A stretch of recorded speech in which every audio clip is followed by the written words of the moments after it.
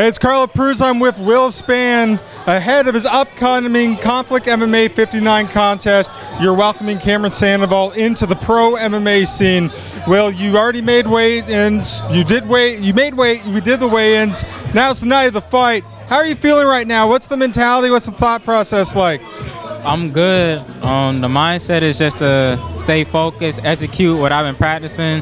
Don't um, get too crazy and excited when you rock him. Just stay calm, composed, and, and pick your shots this time. You know, we talked about earlier, uh, usually you're fighting all over the place. It's very rare that you're fighting in the Beaufort area. Does this kind of feel like a hometown fight for you fighting in Savannah? In a way, yeah. Like Savannah's like my second home.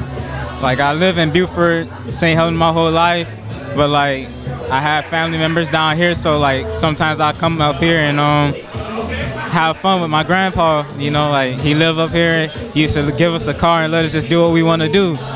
So now you're going on your sixth pro MMA fight. Your opponent's making his pro MMA debut. When you're in a situation when you're like welcoming the guy to the pro scene, does that change the thought process or, or mentality at all for you? No, I, am taking him very seriously. Um, I don't take him lightly at all. He's very dangerous, and um, I'm looking to get the finish, get the win, and go home with the W. Now, what aspects of your game do you think is going to drive success in your favor tomorrow night? Everything. Like, I'm going to dominate. I'm going to pick him apart standing up.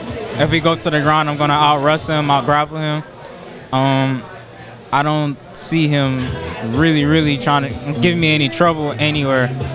Probably in the striking because it's reach, but outside of that, I don't see him going toe to toe with me. All right, in a perfect world, Will, what goes down tomorrow night, man? Um, do what I was practicing, execute everything I've been working hard. Um, all the seminars I've been going to, um, put that inside my game plan and just get the W. That's Will Spann. I'm Carlo Perruzza. Stick around.